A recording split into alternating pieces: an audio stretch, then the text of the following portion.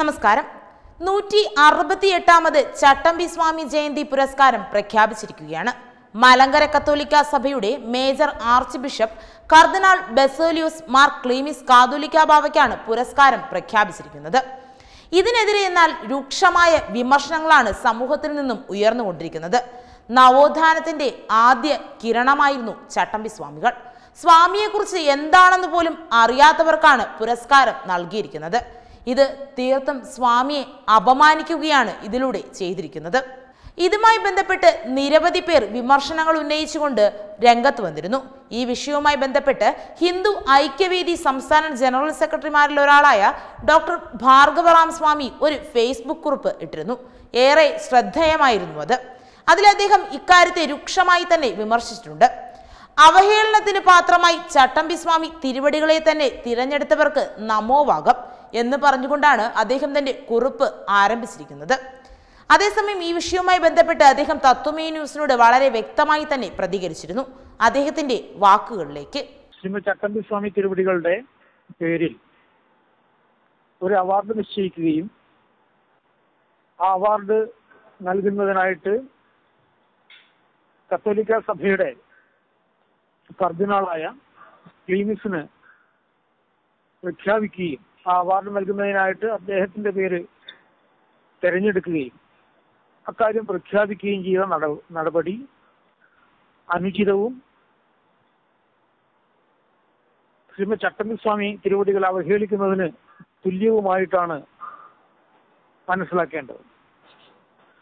ശ്രീമദ് ചട്ടമ്പിസ്വാമി തിരുവടികളുടെ ജീവിത സർവസ്വത്തെക്കുറിച്ച് യാതൊരു ധാരണയും ഇല്ലാത്തവർ ആണ് ഇത്തരത്തിലുള്ള കാര്യങ്ങൾ ചെയ്തത് എന്ന് വിചാരിക്കുന്നതില്ല. ശ്രീമത് ചട്ടമ്പി സ്വാമി തിരുവടികളുടെ ജീവിതത്തിന്റെ ആകെ തുക അദ്ദേഹം അദ്ദേഹത്തിന്റെ ഗ്രന്ഥങ്ങളിലൂടെയും പ്രകാശിപ്പിച്ചിട്ടുണ്ട്. അതിൽ പ്രധാനപ്പെട്ട ഒരു രചനയാണ് അദ്ദേഹത്തിന്റെ ക്രിസ്തുമത ഛേദനം എന്നുള്ള പുസ്തകം. ആ ക്രിസ്തുമത ഛേദനം പരിശോധിച്ചാൽ നമുക്ക് ചില കാര്യങ്ങൾ ബോധ്യമാകും. ഇന്നും ക്രിസ്തുമത ഛേദനത്തിന് പറ്റിയ ഒരു ഖണ്ഡനം ഏത് ദിശയിൽ നിന്നും ഉണ്ടാക്കിയെടുക്കാൻ വേണ്ടി ആർക്കും കഴിഞ്ഞിട്ടില്ല.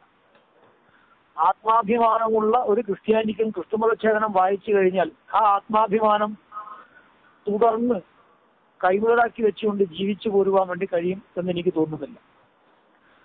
അത്തരത്തിൽ വളരെ വിശദമായിട്ട് ആ മതസർവസ്വത്തെ തന്നെ ഖണ്ഡിച്ച ഒരു പുണ്യാത്മാവാണ് ചട്ടമ്പി സ്വാമി തിരുവടികൾ അത് ഒരു പുസ്തകം എഴുതുക മാത്രമല്ല ചെയ്തത്.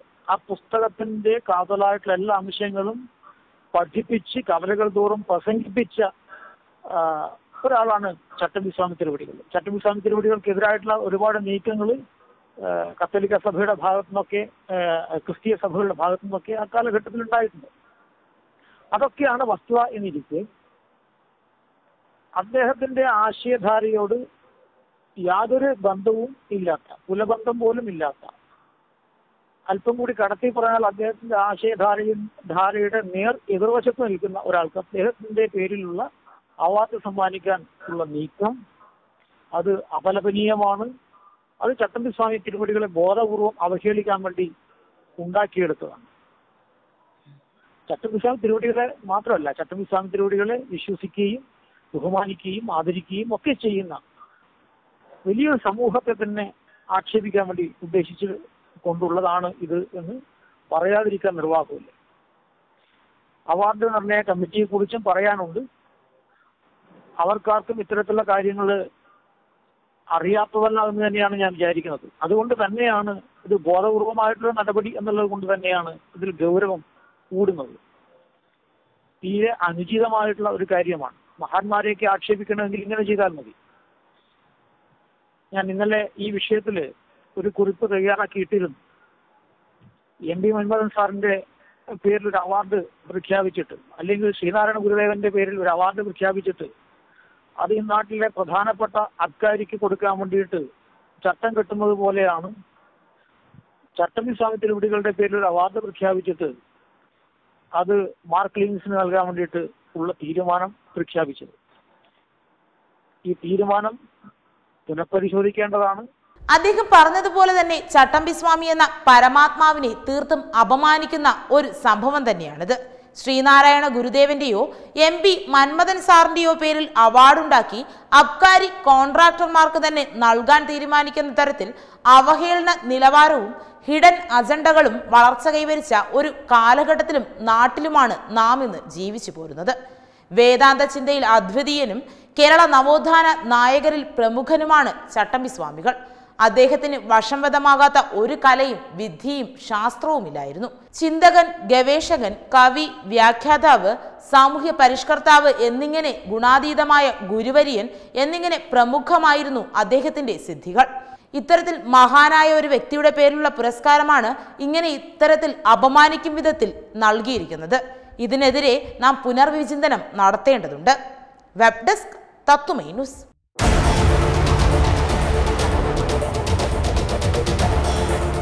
മലയാളത്തിലെ ആദ്യത്തെ ഓൺലൈൻ സംവാദവേദിയായിരുന്ന ഹോട്ട്ലൈൻ. തത്വമയി ടി വിയിലൂടെ ഹോട്ട്ലൈൻ തിരിച്ചു വരുന്നു എന്ന് അറിഞ്ഞതിൽ വളരെയധികം സന്തോഷമുണ്ട്. ഒരുപക്ഷെ ഇന്ന് കാണുന്ന മാധ്യമ ചർച്ചകളൊക്കെ രൂപം കൊള്ളുന്നതിന് മുൻപ് വളരെ സജീവമായി രാഷ്ട്രീയ രാഷ്ട്രീയേതര വിഷയങ്ങളിൽ സമൂഹത്തിന് വളരെ അത്യാവശ്യമുള്ള ജനങ്ങൾക്ക് കേൾക്കാൻ താല്പര്യമുള്ള വിഷയങ്ങളിൽ വളരെ വിജയകരമായി നടന്നു വന്നിരുന്ന ഒരു സംവാദവേദിയാണ് ഹോട്ട്ലൈൻ. തത്വമയിലൂടെ തിരിച്ചു വരുന്നതിലൂടെ അത് സമൂഹത്തിന് വളരെയധികം ഗുണം ചെയ്യുമെന്ന് ഞാൻ വിശ്വസിക്കുന്നു. എൽ ബി ജെ പിയുടെ എല്ലാവിധ ആശംസകളും അർപ്പിക്കുന്നു. നന്ദി. നമസ്കാരം.